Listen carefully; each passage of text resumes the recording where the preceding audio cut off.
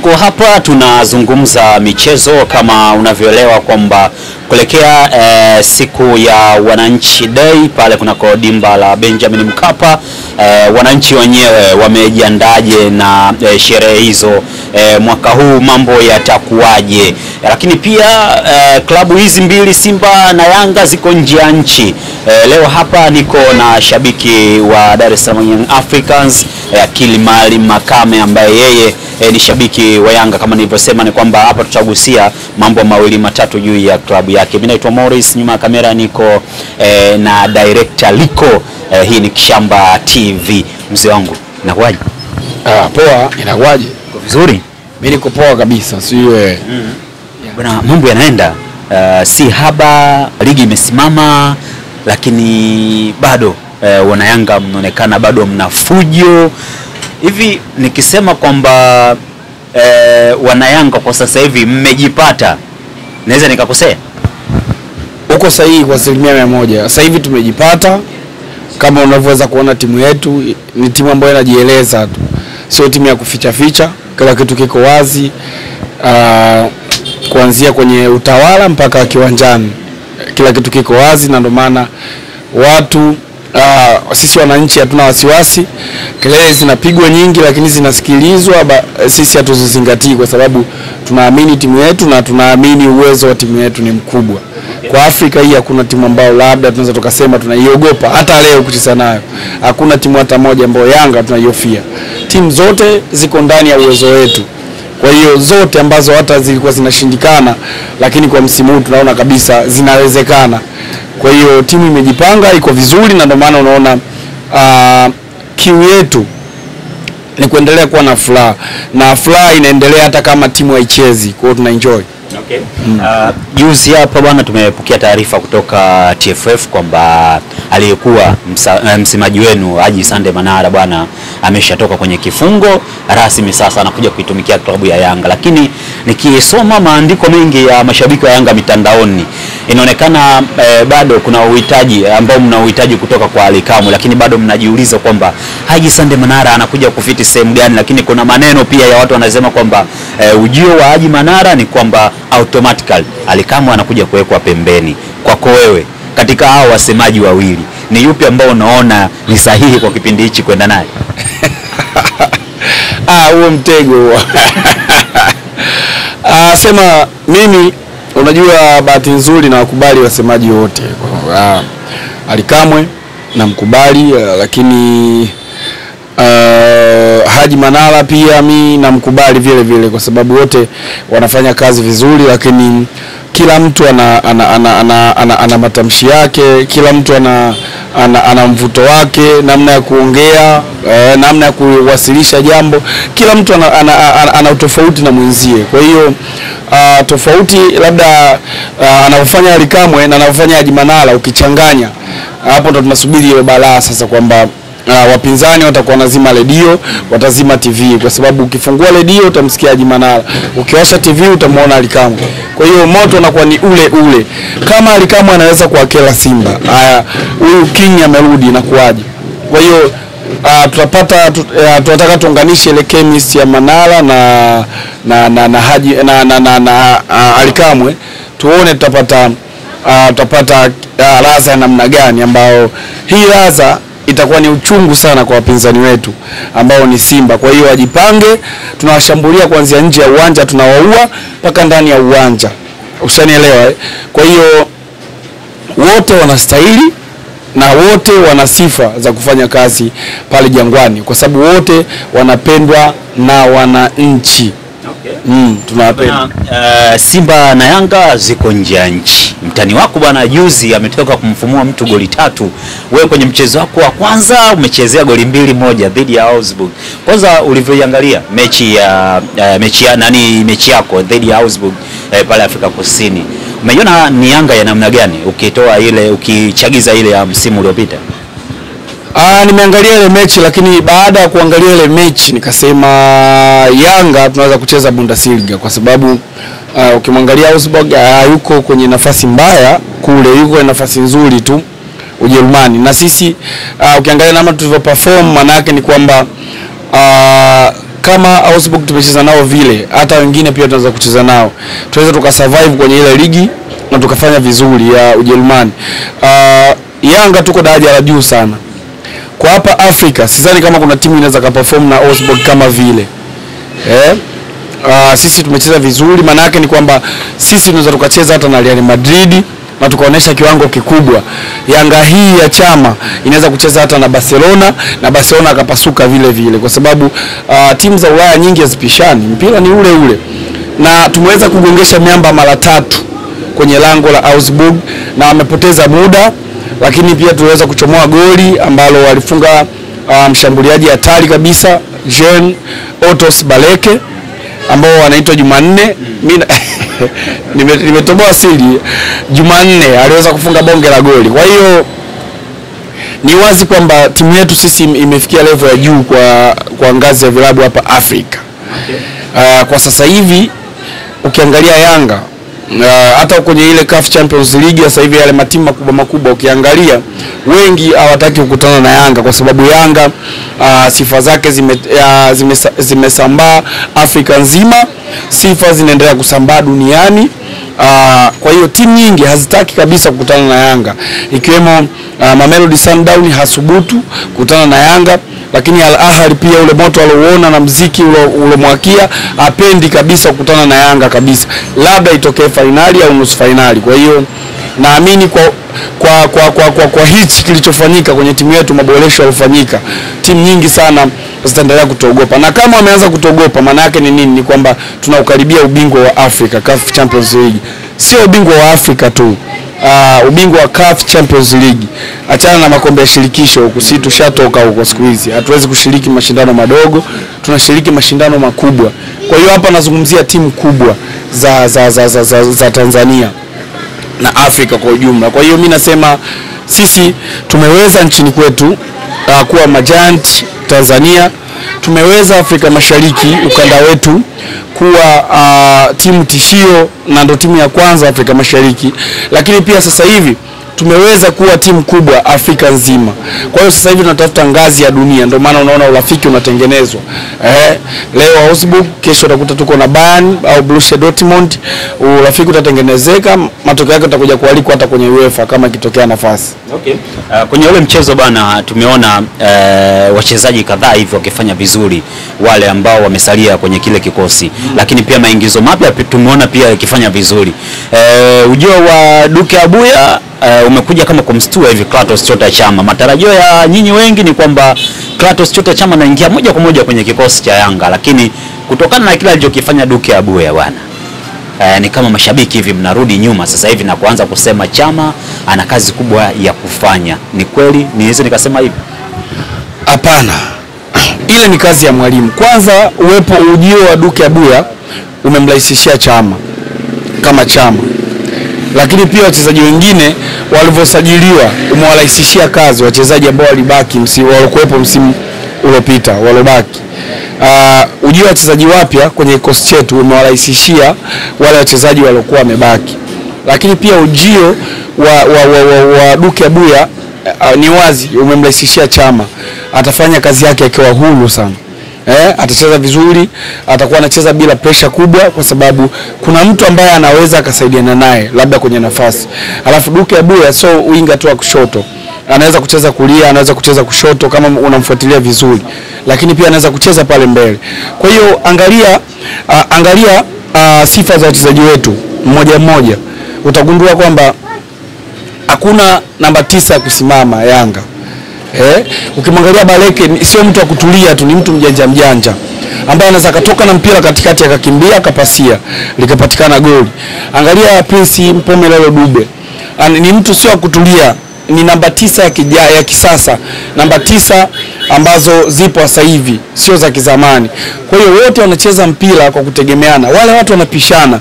Usishangae unamkuta Dube namba saba eh, ukamkuta Baleke namba kumi na moja kwa sababu wale watu sio wa kusimama, wanapishana namna hii kama, ka, kama cheni zile zi- wanapishana hivi. Kwa hiyo ni timu iliyosajiliwa kwa, kwa, kwa, kwa, kwa, kwa malengo makubwa ni timu ambayo imesajiliwa, timu haimtegemei mchezaji mmoja. Timu inawategemea wachezaji wote. Sasa kikosi kitapangwa, Yanga watapanga kikosi au Gamondi atapanga kikosi kile kwa kutokana na mechi iliyopo mbele. Ni mechi ya watu wenye mdomo sana, tia viungo wengi washambuliaji. Ni mechi ambayo itakuwa na umuhimu mkubwa na tahadhari kubwa, atatia viungo wengi wakabaji. Tunao, si ushanielewa? Kwa hiyo ile timu imetengenezwa kwa mahitaji mengi mengi, haijatengenezwa kwa mahitaji ya kutegemea kila siku kikosi hicho hicho. Hapana, vikosi vitabadilika kutokana na mpinzani aliyoko mbele, na timu kubwa ndo zilivyo duniani. Kwa hiyo na sisi tunamwelewa Gamondi anafanya nini, na sisi tunaelewa viongozi wetu wanafanya nini, kwa sababu kuna muda unaweza kukuta na mechi ngumu afu umepata wachezaji wamepata majeraha. Hii imetukwamisha misimu miwili mfululizo. Tulivyocheza kwenye kombe dogo lile, tulikwenda kule mpaka fainali, lakini fainali tukapata changamoto ya kumkosa kiungo tegemeo ambao ni Khalid Aucho, lakini pia msimu uliopita tuliingia kwenye hatua ya nusu fainali, na robo fainali tukamkosa kiungo tena muhimu eh, viungo wawili ambao ni Pakome.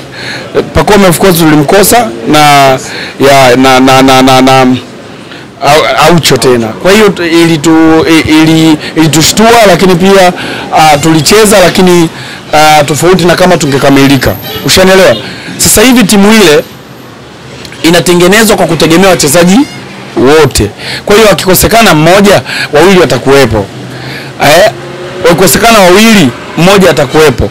Mimi ndo timu nilivyoiona ilivyotengenezwa, na ni timu kubwa na timu ngumu na timu ambayo italeta ushindani. Niamini it- Yanga italeta ushindani mkubwa sana.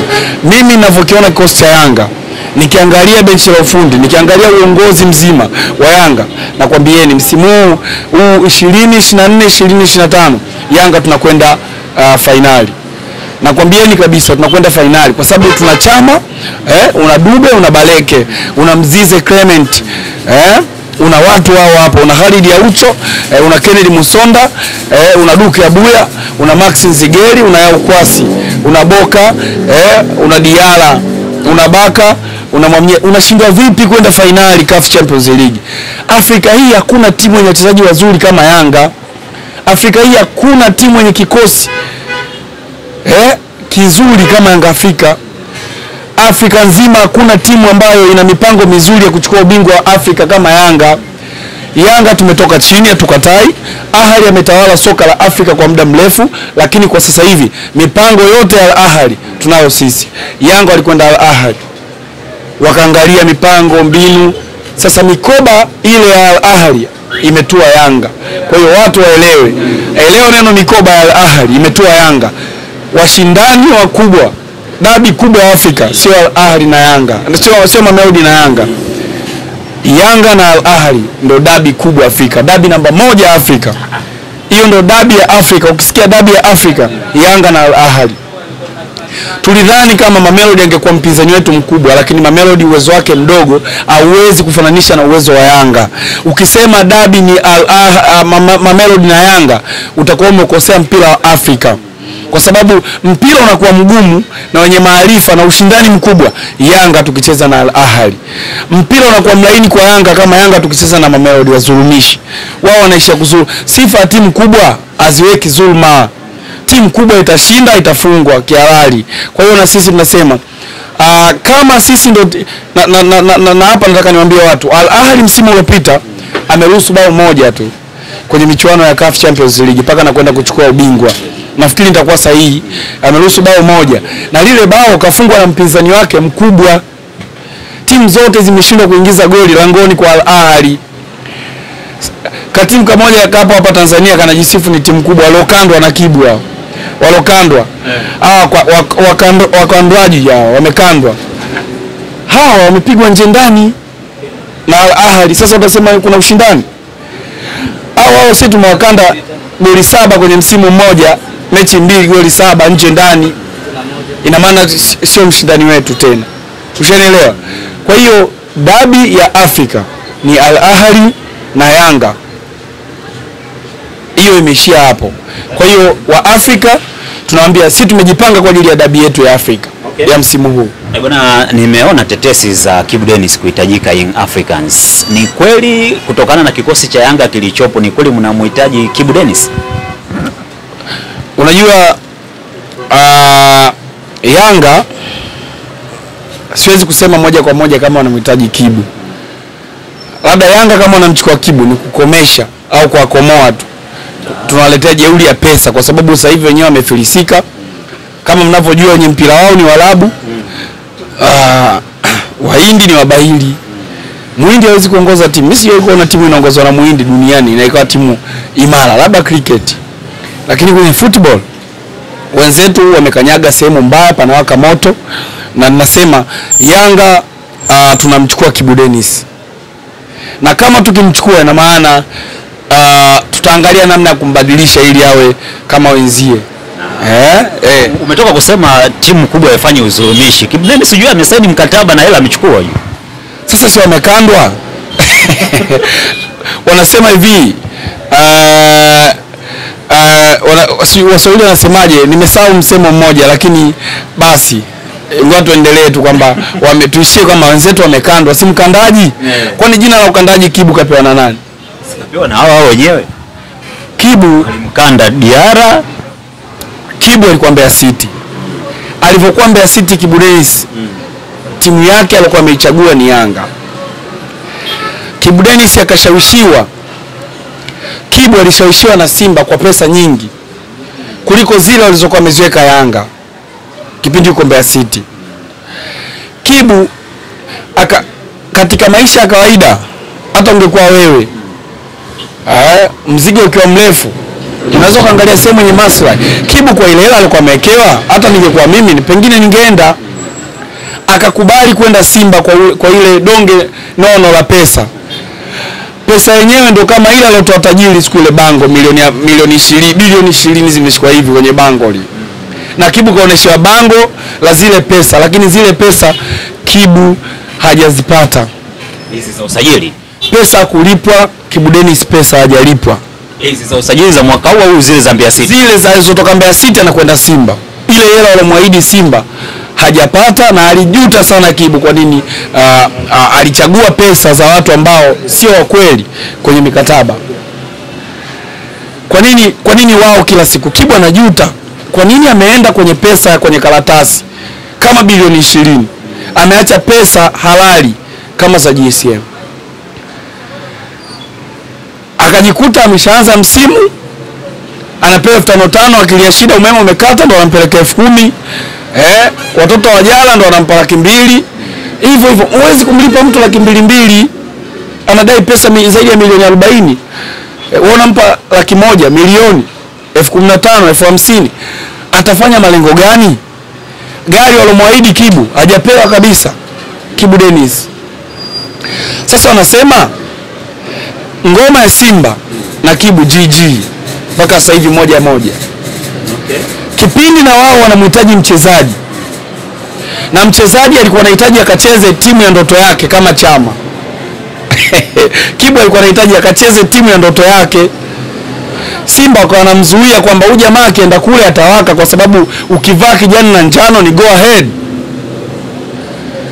huku nyekundu unazuiwa kuanzia kiwango mpaka maisha yako. Akaona aende kwenye timu ya ndoto yake, akawe kijana kama wenzie, akazuiwa tena. Aya, sasa hivi nataka kusemaje? Milioni mia tatu mia tatu eh, mshahara huu hapa. Ah, sasa nataka mshahara wangu wa miezi mi, mi, mi, mitano hmm? nusu msimu hiyo hmm. alafu pia nipe pesa yangu yote kwenye akaunti milioni mia tatu. Kibu ni mjanja, amna mwananchi fala, kaingizia ule mzigo. Haya, naenda mapumziko. Haya, wakamsindikiza mpaka airport. Bye. Tumeenda kwa heli. hiyo ndo kwa heri. Na ule mkataba ni mkataba feki. Wiki ya mwananchi Kibu yupo pale, karibuni tumtambulishe. Na ile saini hajasaini kweli. Kwa hiyo watu wa Simba wameingia choo cha kike, wamekandwa na sisi tuko nafurahia tu jina la mkandaji, Yani hao Bwela FC wameingia cha kike, wamekandwa. Kama kauli yao inavyosema, ubaya ubwela. Kibu naye kaweka ubaya ubwela. Kwa hiyo stori yao imeishia hapo, yaani Kibu hawezi kurudi Simba. Hata hata kama angeonekana hapa, hakuna mtu wa kumrudisha Simba. Na kesi hana. Simba wametoa ile hela, wamesahau kama wamevunja mkataba wao wenyewe na Kibu. Maana yake ni nini? Kama Simba wakitaka ile pesa warudishiwe ile ya Kibu, maana yake watarejea tena kwenye mkataba wa awali kutoka Mbeya City kuja Simba. Aya, kulikuwa kumeandikwa shingapi na wamelipa shingapi? Wana wana wana, wana hiyo risiti ya malipo ya Kibu? Hawana ile pesa. Kwa hiyo hii ngoma itaishia hivi hivi na itasawazishwa. Simba watoke hadharani wawaambie watu kwamba bana, sisi na Kibu moja moja tulifanya ujanja, ikawa mjanja zaidi. Okay. Nikikwambia Kibwa yuko Ulaya huwezi kuamini. Basi tu tuishie hapo. Umeona jana kapata ndege kaka? Nakwambia au basi tu. Sio kwa nasema yuko wapi sio wapi. Kibwa hawezi kumpata Simba kwa sababu uh, walimfanyia ubaya naye kaweka ubwela. Hapo unataka kuniambia Kibwa yuko Avic Town? Ubaya ubwela. Hilo ni neno ambalo natakiwa lizingatie. Ubaya ubwela ndo litaishia hapo Lakibu na na, na, na Simba. Kwa hiyo ishu yao imekaa hivyo. Okay. Uh, umesema Kibu anaangalia maslahi au mtu yoyote aki- akiona akiona hela ndefu anaangalia maslahi ya automatic. Mimi nataka nikuulize tu swali la kizushi. Simba bwana wameweka mzigo milioni hamsini hii hapa mezani. Akili mali uishabikie Simba ndani ya miezi sita. Mimi nitabaki kuwa maskini. Najua Mungu atakuwa ameniandikia niwe maskini, kama ndio hivyo. Yaani mimi natafuta hela afu hela zinatoka Simba, ah, mimi nitakuwa maskini tu, kwa sababu nitaishi vipi? Maisha wanaoishi watu wa Simba ni magumu. Yaani mwananchi, mtu ani shabiki wa Yanga, mwananchi ambaye ana hata mia ana furaha kuliko shabiki wa Simba mwenye mabilioni. Yaani ukiwa Yanga unaweza ukashinda uka, uka njaa hata siku tatu hujala chochote hujanywa chochote, alafu uki, ukiangalia hata marudio ya mechi ya Yanga unasahau kabisa kula. Mimi nimesahau mara ngapi kula, yaani nasahau, ah, kumbe sijala saa tisa usiku imeisha hiyo mpaka kesho. Ni kwa sababu nilikuwa naangalia marudio ya Yanga au mechi ya Yanga. Kwanza mimi Yanga ikichezaga siri nakula nini? Kwa hiyo mia, tano mezani milioni mia tano mezani na Yanga unaenda Yanga. yani aisee mimi siwezi kuwa Simba. Yani kiukweli yani mimi braza yangu ni Simba sifichi. Braza yangu mimi ni Simba Simba kweli kweli. Uh, iko pale lupa tingatinga majuto chem. Lakini mm, maisha yake naona ah, sio. Kwa sababu hana furaha pesa anayo lakini furaha hana. Hata mimi nitakuwa na hizo pesa. Mi furaha yangu Yanga taachaje charges kitu ambacho kinanipa furaha nikaenda kushika miela ambayo haitanipa furaha.